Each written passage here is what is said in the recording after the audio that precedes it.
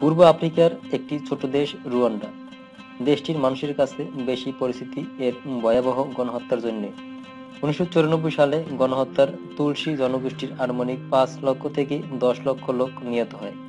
প্রায় বিশ লক্ষ লোক ঘরছাড়া হয়। রক্তক্ষয়ী সেই ইতিহাস ভুলে দেশটি এখন সামনে এগিয়ে যাওয়ার চেষ্টায় আছে।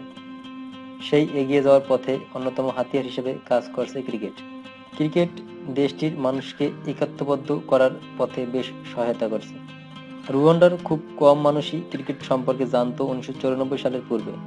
পরবর্তীতে বিভিন্ন ব্রিটিশ, ভারতীয়, আফ্রিকান ক্রিকেট খেলুড়ে দেশগুলোর সদস্যের মাধ্যমে ক্রিকেটের সাথে পরিচিত হয় রুয়ান্ডার জনগণ। দু হাজার এগারো সালে সাবেক ব্রিটিশ প্রধানমন্ত্রী ডেভিড ক্যামেরনের সহযোগী ও রাজনীতিবিদ ক্রিস্টোফান শ্যামলে রুয়ান্ডার ক্রিকেট স্টেডিয়াম ফাউন্ডেশন গড়ে তোলেন। পরবর্তীতে দু এগারোতে তিনি মারা গেল তার ছেলে এলবি শ্যামলে হাল ধরলেন এই প্রজেক্টের। তার দেখা স্বপ্নের ফলেই প্রায় এক মিলিয়ন পাউন্ড সংগ্রহ করা সম্ভব হয়। ধীরে ধীরে ছ বছরের চেষ্টায় তৈরি হয় এক স্বপ্নের ক্রিকেট স্টেডিয়াম।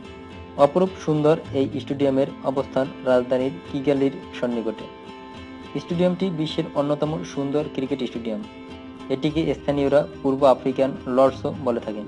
রুয়ান্ডার ক্রিকেট স্টেডিয়ামে হয়ে যাওয়ার পর ফাউন্ডেশনটির নাম পরিবর্তন করে ক্রিকেট ফর হোপে। রুয়ান্ডার ক্রিকেটে নারীদের উপস্থিতি লক্ষণীয়।